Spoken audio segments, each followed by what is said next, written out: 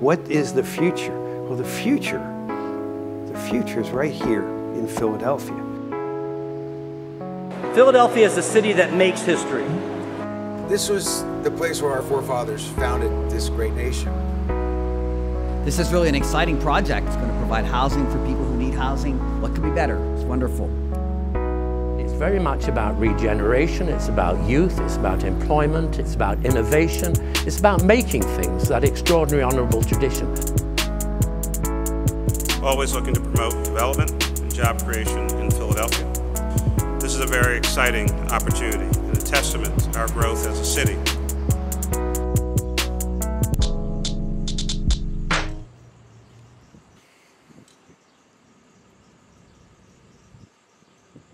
What happened to our properties was they took it and I think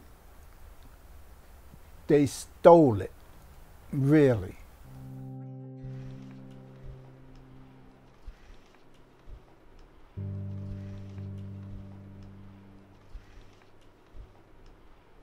My name is Barbara Lattimore. I'm married to Robert Lattimore. We've been married for 53 years now. But leading up to it, we were childhood sweethearts. When we did start dating and everything, we were young, but he always had a dream. And his dream was to become his own boss. And I wanted to do something in life because up to that point, it seemed like I was failing and everything. We had a mom and pop okay. store, grocery store. When, when he opened up the store, everything was going really well. He got into the real estate, he bought houses. Not all at one time now. We had to save hard. We sacrificed our life to get what we had. We acquired five properties down South Philly. We were satisfied, so he started working on them, renovating, building, you know, getting it all together. This is the corner store. Since we wasn't there, they started breaking in, broke windows. When they posted the um, condemnation papers on us, that's when the fight started. She was right on the money. She said, They're trying to take your property. I said, they can't take it. I own it. I own my property. They can't take my property. But because I never heard anything about eminent domain, they just came in, they gave me notice. You got X amount of days or one month to get out. And guess how much they offered us for all of our properties? Combined. 73,000. Disgrace. Yeah. That's a disgrace. It just dawned on me later that they already had determine what they was going to do anyway. Now we have great grandchildren. We have what, 11 great grandchildren, seven grandchildren. And it's so sad that we get this far and they have parties and we, we don't have nothing to give. We can't we got nothing to offer. The only thing I have is the fight. I, I have to accomplish something. Now here I'm 72. I say, when am I going to enjoy life? Am I?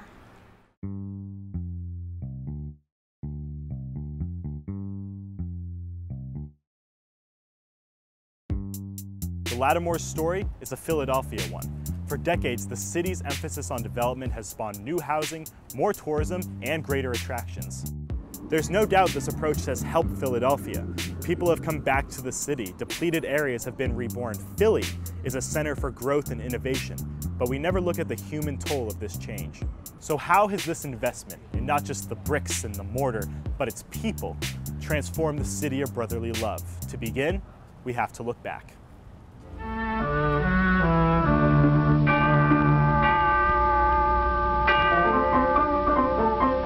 History of Philadelphia, like the history of any great city, is written in stone for anyone to read. Philadelphia has always been known as a city of homeowners.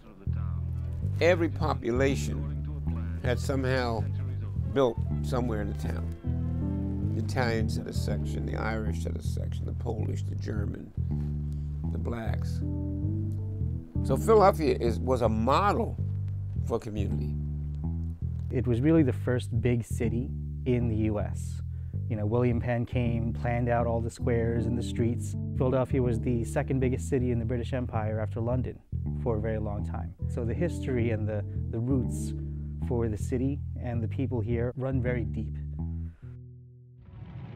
Philadelphians hope against hope. Amidst the chaos, leaders build grand projects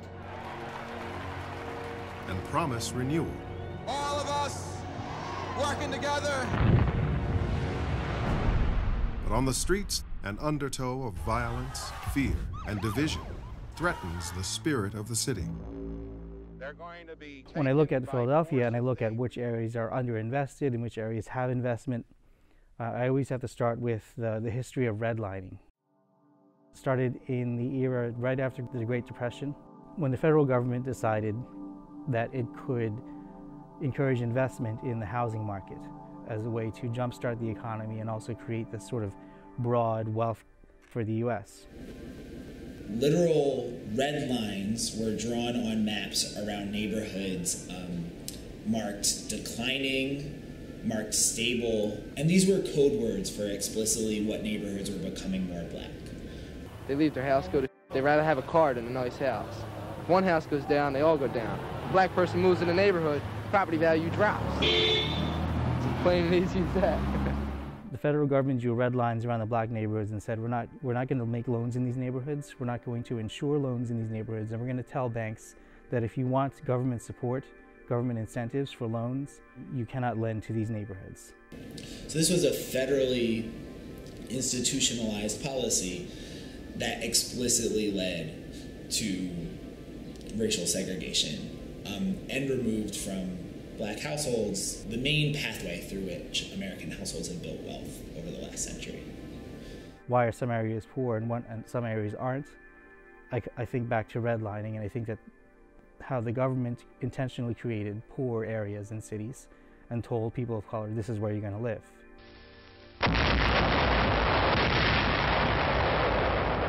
So following World War II, the federal government and highway construction, you know, disinvestment in cities, uh, investment, private sector and public sector investment in suburban regions in the United States led to this mass suburbanization.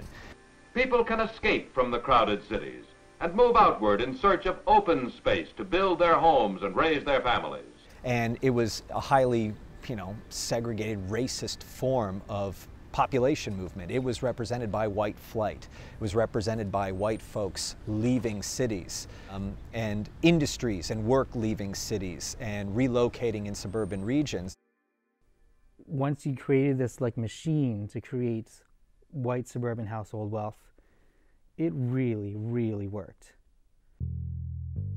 So in a city like Philadelphia, what happens is you, there's this massive population loss. In the second half of the 20th century, Philadelphia loses about 25% of its population.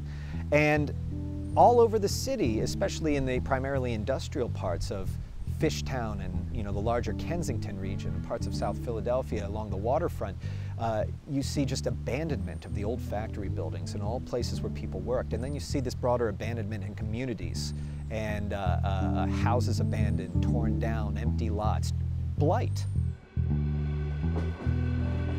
In Philadelphia, uh, the real estate market really, uh, and the population loss and all the other problems that had been associated with the city um, for nearly half a century kind of bottomed out. So in the 80s and 90s, the city was at its worst in terms of neighborhood real estate markets. Depopulation was still happening, uh, housing vacancy was continuing, and so the, the primary problem was disinvestment.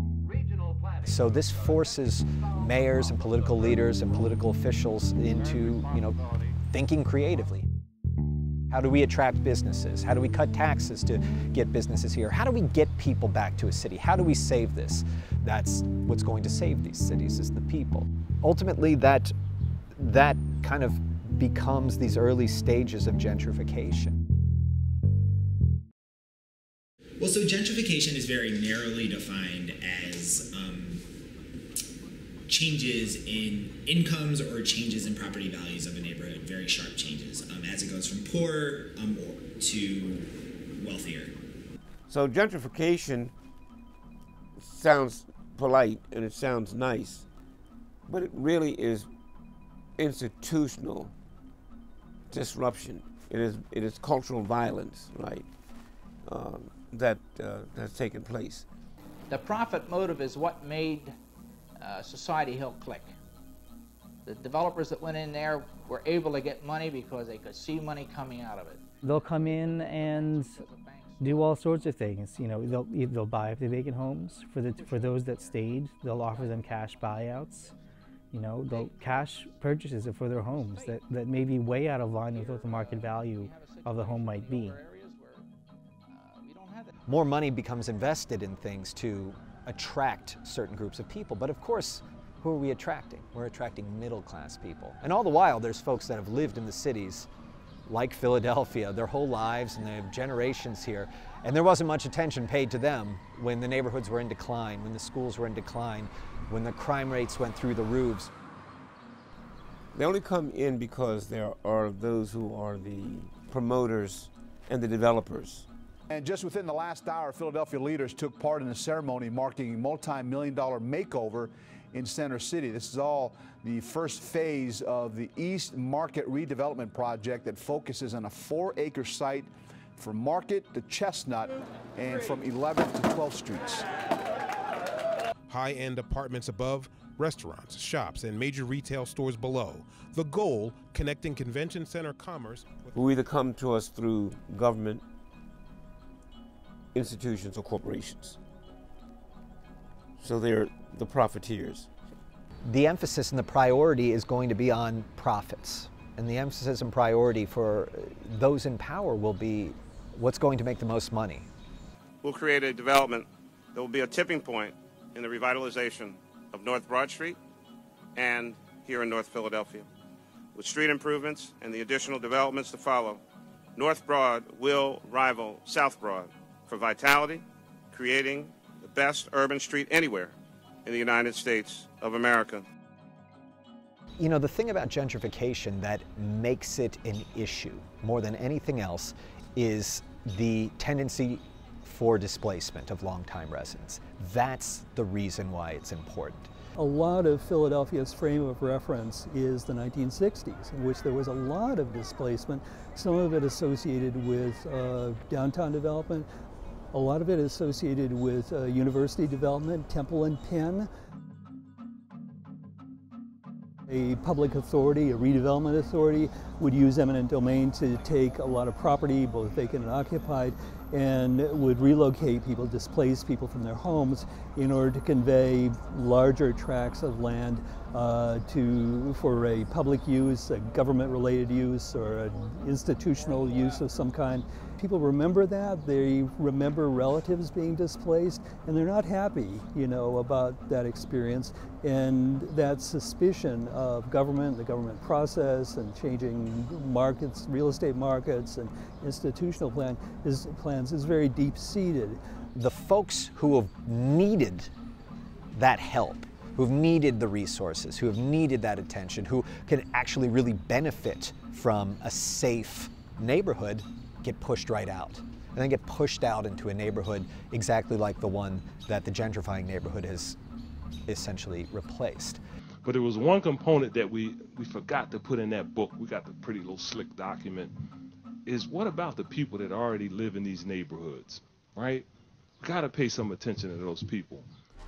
Tonight, investigators say someone started this row home fire on purpose in Philadelphia's Point Breeze section. That fire damaged several homes under construction in a gentrified neighborhood along South 20th Street. Broken windows and damaged homes in Kensington. But there's a message behind this crime. A sign left at the scene read, Gentrification is death, revolt is life. You don't have to go far to see the changing landscape in many neighborhoods. NBC 10's Denise. The wave of new development into certain areas, certain neighborhoods of the city is striking up a lot of deja vu in other areas of the city, in neighborhoods full of people who never left. In other areas of the city where there isn't investment happening or hasn't been investment happening, people are wondering, what's going on? Uh, we never left. We never fled to the suburbs. Why aren't we getting investment in our neighborhoods? It tears families apart. And it also, like I said, very much affects the value that a family will have in their real estate. But when they come back and see how a community is transformed, then they realize what their family has lost. That's the inheritance. A lot of African Americans never inherit anything.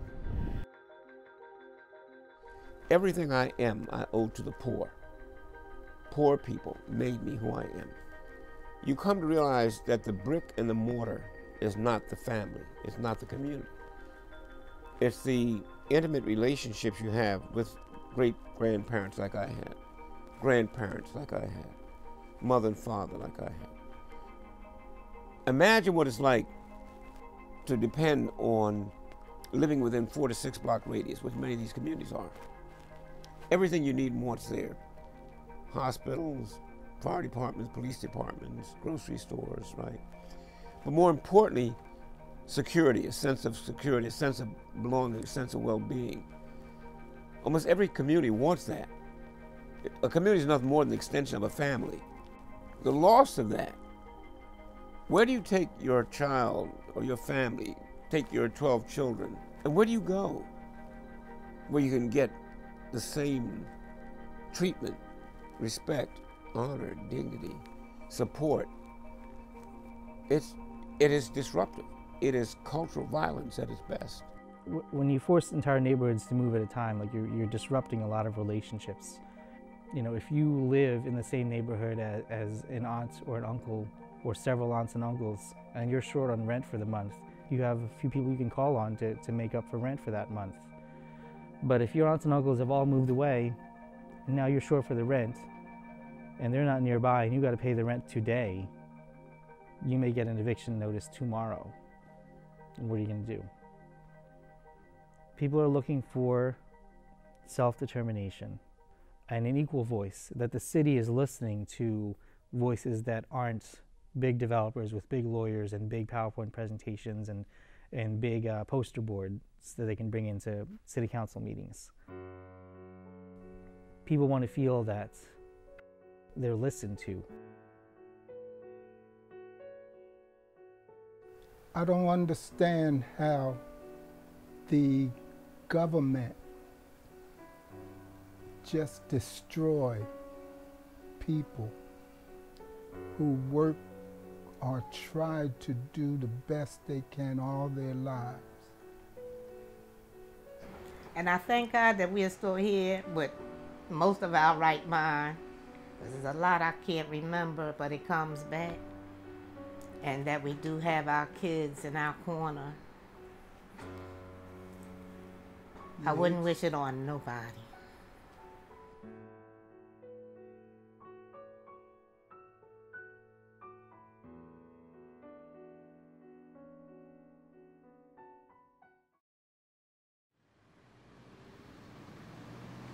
The changes in the neighborhood have personally affected me and have affected many people I know. And that's something I'm interested in documenting. I mean, I think as a group, these paintings kind of tell that story over a period of time. My name's Jennifer Baker. I'm a painter and sculptor. Well, I've been doing paintings and monoprints of Northern Liberties over a period of about 30 years. I started actually doing paintings of this neighborhood um, in, I guess, late 80s, early 90s. The neighborhood was kind of burning down around us. All the businesses had closed and a lot of the homes were abandoned and a lot of the empty uh, industrial buildings were, were burning. I mean, they were, it was kind of arson by neglect. It just caught my attention. I felt like I wanted to make art about my surroundings, which I'd never done before. Well, I'm really interested in the history and the narrative and, and the change and what, you know, how that affects people.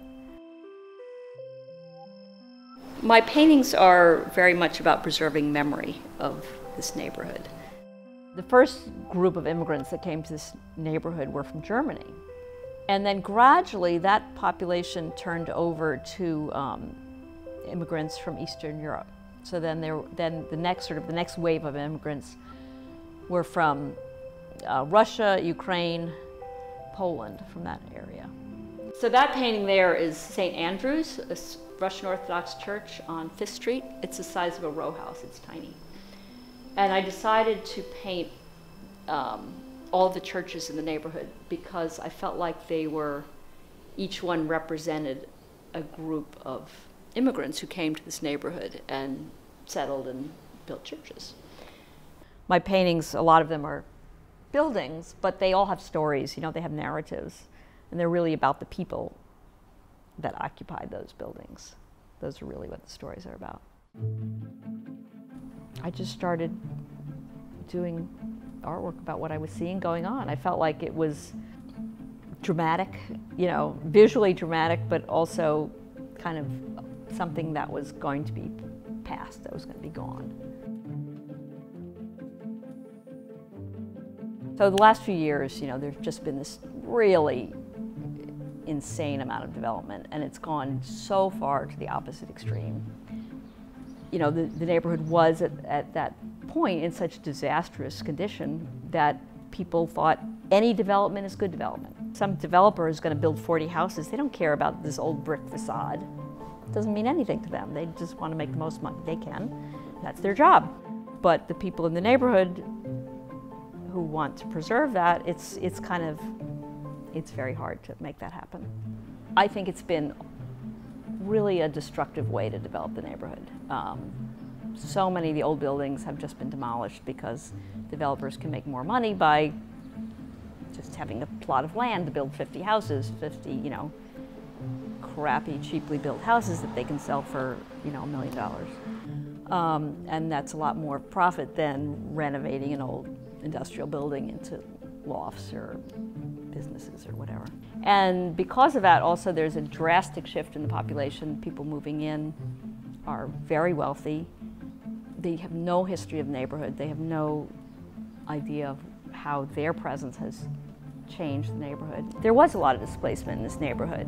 Being here all this time, I know many, many artists who were forced out of this neighborhood because it was too expensive. I mean, change is inevitable, and you know, you hope a neighborhood that's really going downhill will be turned around and made better in some way. But the way it was done and the way it is still being done, I think, is very destructive. I think it's important for people to have some past knowledge of their community. I think that's an important thing.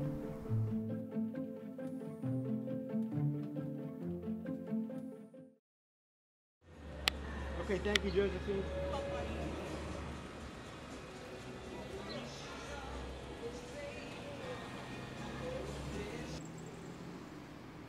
I don't necessarily feel that uh, painting all developers in that light, you know, driving people out is right. You know, I build a product that is tailored to a middle income clientele and I don't force anybody out. I don't like the negative connotation with that. You know, I always try to do the right thing and always try to build the right way. I have really good relationships with most people here. I think the world is filled with divisive lines. You know, either you're this or you're that, or you know, you're on our side or you're not. I'm Rahil Raza. I'm a real estate developer. I own Raza Properties. It's a real estate development company that focuses on the Philadelphia area. The middle income group continuously gets pushed out. Um, in the areas concentrated in Center City and University City, uh, Northern Liberties, there's really high priced housing uh, for, you know, directed towards high income individuals. Um, and not everyone can make that kind of money. Not everybody uh, has those type of jobs, you know. And I feel like I can uh, help that market uh, by pro providing housing, uh, high quality housing at an affordable rate, and uh, do it in a profitable manner, but do it in an ethical manner as well. I make it a point to meet all the neighbors and uh, really get their opinion about everything. I think that a lot of uh, resentment comes in the fact where people um, don't communicate. So I try to communicate to everyone uh, that's going to be affected by the development. Be a voice for everyone. I hope that uh, this resentment and this clash, you know, changes sometime, or there's a better understanding between both sides. I understand uh, the public's sentiment. There have been some bad apples, but I know some really good developers as well. So. Up to the middle of the block, that's going to be six duplexes. Uh, a lot of councilmen uh, will highlight the negative aspects of development. And I think that there should be a broad approach to everything that a, a, gov a government does, a government body does. So a city's government should understand that there's all different markets in a city, right? And you can't pigeonhole one aspect because it doesn't uh, fit into another aspect.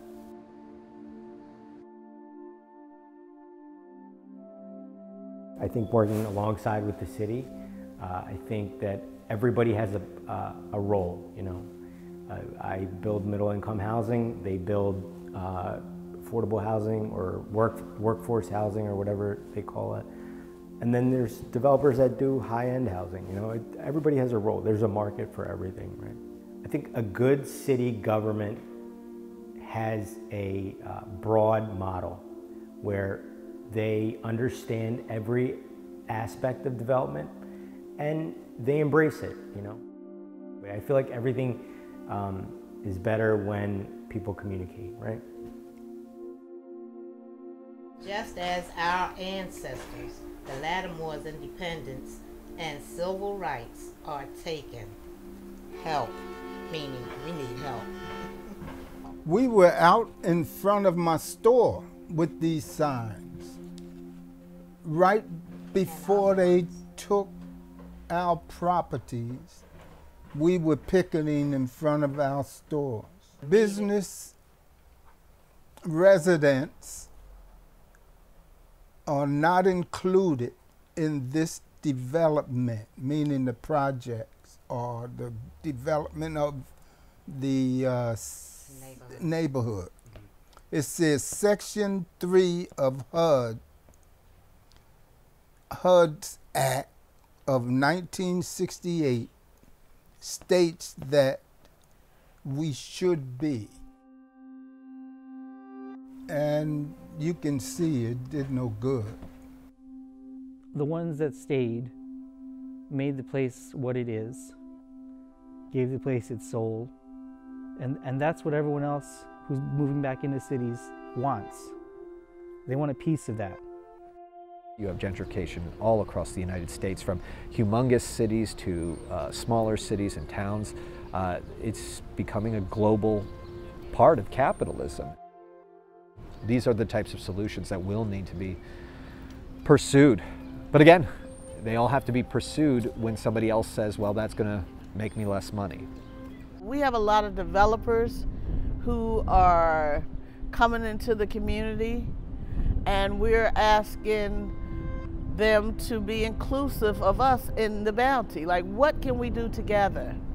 What deals can we do together? Literally, deals that could be of value to all involved. You have infrastructure in Philadelphia. You have block captains and, and other kind of neighborhood level structures where you can bring people in.